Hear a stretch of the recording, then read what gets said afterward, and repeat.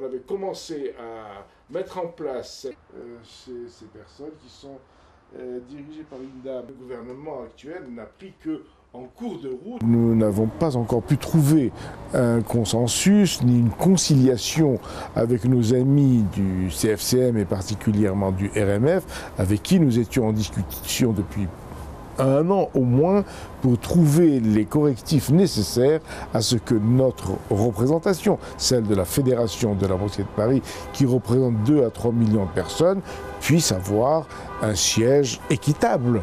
Nous demandons simplement qu'au niveau de l'élection, c'est-à-dire de euh, l'expression, de, la, de la constitution du bureau, il y ait un équilibre. Nous demandons un équilibre, ni plus ni moins. Il faut réfléchir dans l'échange avec les pouvoirs publics et non pas imposer, comme ça a été fait en 99, une vision strictement administrative et qui, euh, euh, que, nous avions prévenu. Nous avions prévenu les, les, les fonctionnaires de ce moment-là. Vous allez créer la division dans la...